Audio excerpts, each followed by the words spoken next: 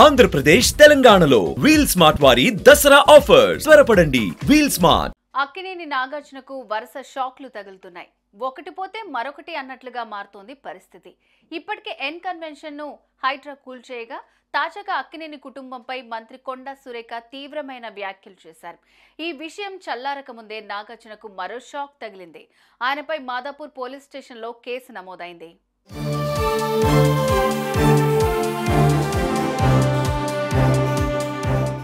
జనం కోసం అధ్యక్షుడు కసిరెడ్డి భాస్కర్ రెడ్డి మాదాపూర్ పోలీస్ స్టేషన్లో నాగార్జునపై ఫిర్యాదు చేశారు.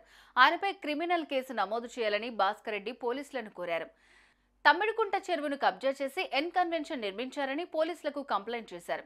నాగార్జున చెరువును ఆక్రమించుకుని పర్యావరణాన్ని విధ్వంసం చేశాడని చట్టాలను ఉల్లంఘించాడని భాస్కర్ రెడ్డి ఫిర్యాదులో పేర్కొన్నాడు. ఫిర్యాదు అందుకున్న పోలీసులు లీగల్ ఒపీనియన్కు పంపించారు.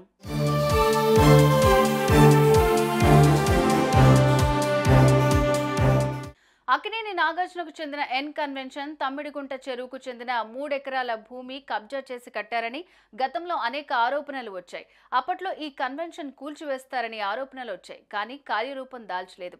ఇటీవల ఈ అక్రమ నిర్మాణంపై మరోసారి ఫిర్యాదులు అందాయి. చెరువులు కుంటలు ఆక్రమించి కట్టిన కట్టడాలను కూల్చివేయాలని ప్రభుత్వం హైడ్రాను ఏర్పాటు చేసింది. ఈ నేపథ్యంలో దూకుడు పెంచిన హైడ్రా ఎన్ కన్వెన్షన్ను అప్పటికప్పుడు కూల్చివేశారు అధికారులు. తాజాగా మంత్రి కొండా సురేఖ అక్కినేని నాగార్జున కుటుంబంపై చేసిన వ్యాఖ్యలు దుమారం రేపాయి. నాగార్జున సదరు మంత్రిపై క్రిమినల్ అండ్ డెఫమేషన్ కేసు నమోదు చేశాడు. ఈ వివాదం ఇలా సాగుతూ ఉండగా ఇప్పుడు మరోసారి నాగార్జునపై కసిరెడ్డి భాస్కర్ రెడ్డి ఫిర్యాదు చేశారు.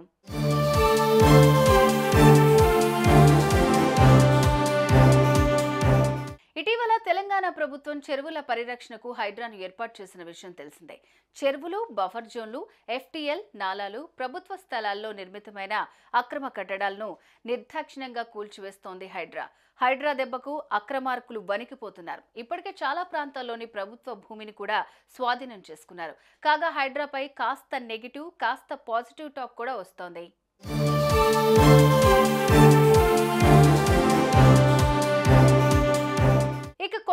కొండా వివాదం పెద్దది కావడంతో ఇలా అక్రమంగా కేసులు పెట్టి వేధిస్తున్నారంటూ అక్కినేని అభిమానులు మండిపడుతున్నారు. వరుస వివాదాలతో సతమతమవుతున్న నాగార్జున ఈ కేసులను ఎలా ఎదుర్కొంటారు? ఆ విషయంపై ఎలా స్పందిస్తారనేది వేచి చూడాలి.